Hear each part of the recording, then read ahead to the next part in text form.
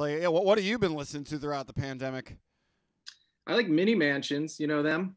I, I do not. I definitely I will was a check fan them out. yeah. of you know the Beatles, the Zombies, the psych rock, the '60s, Elliott Smith style. Yeah. Stuff. They are super in that vein. Um, I th- they're uh, I think from San Diego, but yeah, they are very psych rock, very songwritery, a lot of harmony. Okay. Beach Boys, uh, they're they're super cool. I could get down with that. Uh, yeah, the way you described it, yeah, you were the one who told me about jellyfish. I don't know uh, Yeah. how comparable the two are. Pretty comparable. Okay. Yeah, you still listening to that dog? I remember you were on. Yep, yep, yeah, absolutely. Yeah, in, in fact, it's been a reoccurring theme on this show.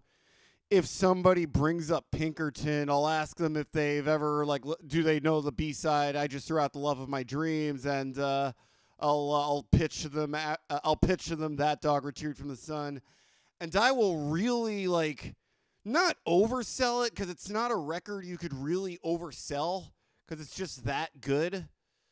But like like uh, yeah, I'm two for two and getting into getting my guests into that dog.